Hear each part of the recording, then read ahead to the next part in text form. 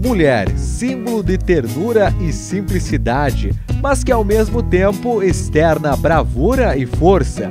Gênero ímpar, pessoa frágil e poderosa, aquela que dá vida e cultiva esperança.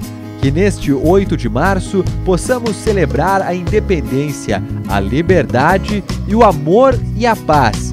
Esses são os votos da Associação dos Contabilistas de Erechim para todas as mulheres.